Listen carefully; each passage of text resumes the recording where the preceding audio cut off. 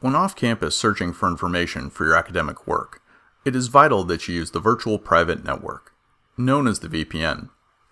Without the VPN, you won't be seeing all the information available to you as a UC Merced student.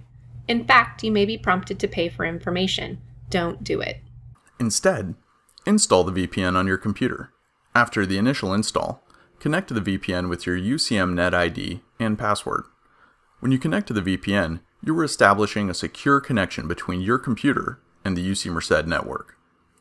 With this authentication, you will have access to a huge number of information resources purchased and subscribed to for your use.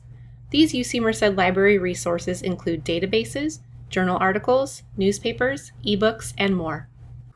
With the VPN, you will be on the campus network, and therefore recognized as a Bobcat who has permission to access these resources. To get started, visit the Office of Information Technology website. At the homepage, select Knowledge and scroll down to VPN. Click through to view the installation guide. Instructions are available for both computers and mobile devices. After successful install, connect from any off-campus location with your UCM Net ID and password. Since this involves two-factor authentication, approve your sign-on information with Duo.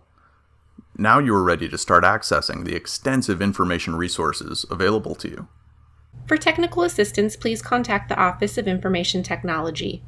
Visit the OIT website it.ucmerced.edu and look for Need Help.